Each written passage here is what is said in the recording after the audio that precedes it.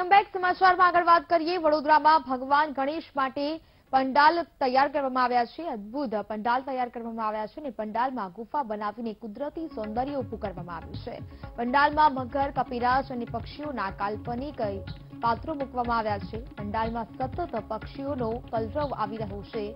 પંડાલ તૈયાર કરવામાં દસ લાખથી વધુનો ખર્ચો કરવામાં આવ્યો છે. પંડાલ તૈયાર કરવા એક મહિનાથી વધુનો સમય લાગ્યો છે. તો પંડાલમાં સુરક્ષા માટે સીસીટીવી કેમેરા અને ફાયર સેફટીનું પણ ધ્યાન રાખવામાં આવ્યું છે. રોજ પચીસ હજારથી વધુ લોકો ભગવાન ગણેશના દર્શન કરે છે.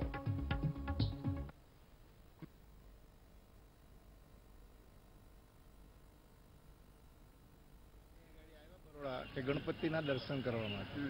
કે પ્રતિમા કેવી છે અને આપણે એમનો ઉત્સવ છે. એ ઉત્સવમાં આપણે ફરજિયાત ગણપતિજીના દર્શન કરવા જોઈએ. હિન્દુ પરિષદને લીધે આપણે દર્શન કરવા જોઈએ. અને અમે જે પાવાગઢ ત્યાં ઝંડ હનુમાન છે, એ પહેલા વર્ષો પહેલા આ રીતના કશું ડેવલપ નહોતું. પણ હવે સુવિધા થઈ ગઈ.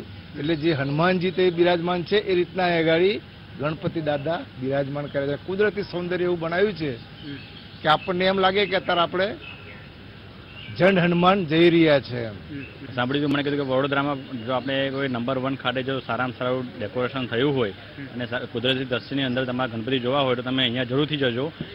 અને જે અહીંયા આવ્યા પછી જે સાંભળવા કરતાં પણ મને વધારે જોવા મળ્યું. વિચાર્યું પણ નહોતું કે આટલું સરસ રીતે ડેકોરેશન થયું હોય અને જેમાં આપણે ગણપતિ આ રીતે જોવા મળે.